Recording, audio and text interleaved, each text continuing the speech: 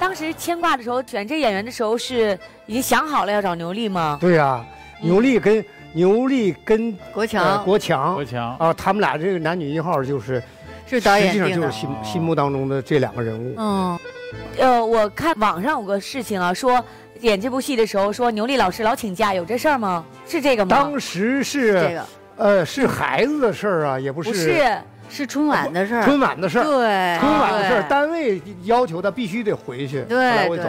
结然后果导演就在现场等着我。结果有一件事情把我气得够呛。嗯，啊，快说，啊是我气你吗？他在，那当然了。哎呀，我都忘了，你还记仇？有一次啊，不说，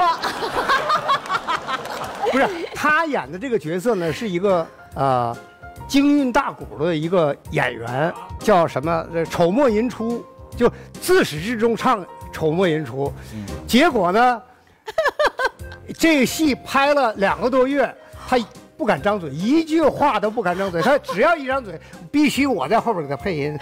丑莫吟出，日转扶桑。那你那你就想当铃多了。当当。你到现在别说这个，你让他唱歌他都不唱，你知道吗？哎，就我对唱歌对这个好像特别不行。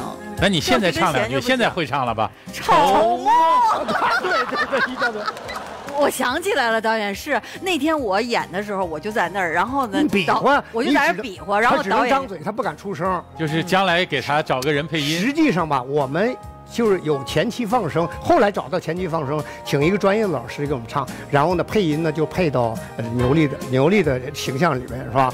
但是呢，你起码的节奏什么的，这个对就可以了啊。你现场好歹得发出声儿吧？对呀、因为他有你这个灯儿，然后还得又得对对对，还打。有一天，有一天就是演在台上，他演出一个重场戏，然后大伙儿都在下边看，包括刘威啊什么，就是这几个这几个这个角色吧，国强他们几个都在啊啊，张国强。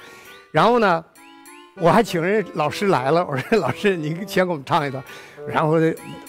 因为牛莉是早这个一开始的剧本呢就给了他了，嗯给他我说您的意思这段你得这么你怎么着你得给我怎么着你给我比划比划唱两句，还是不行。其实我也在家也练练，练但是我到那儿真不敢开口。后来吧，我发现牛力确实形体的表现力确实强，形体表现，包括他弄那个大布绸子在上在啊在在在那儿练，我说，我当时要是改成一个杂技演员就好了。当时那你要请假的话，别的演员同意吗？他不是别的演员同意，这因为当时吧，毕竟呃，就是呃演员角色比较多。然后呢，我们还可以就在档期上还可以串，啊调一下啊，调啊那你那时候也特别着急吧？每天？哎呦，来回跑，来回跑，，当时挺上火的。当时我们拍摄条件嘛挺苦的，我们在一个大房子里边搭了他们一个家嘛，是吧？嗯啊，然后那个把它有三有三个隔断，隔成三个房间。嗯你跟那个国强的那个房间在最最东边。嗯，我记得当时他特别上火，而且呢，他当时也没健身，应该说还当时还没有健身，嗯，特别瘦，比现在还瘦。嗯，有孩刚有孩子啊，有孩子，我记得还感冒了，也不知道怎么回事，啊反正是对。来回跑，一说话囔囔的。对，是。后来呃那个春晚完了以后，第四天还是第三天，咱们就开始排排戏了吧？啊，对，我就去剧组了，然后剧组那个导演和那个那个刘威就开始说我那段子，你们就开始说我那个春晚小品那个段子。啊。啊啊对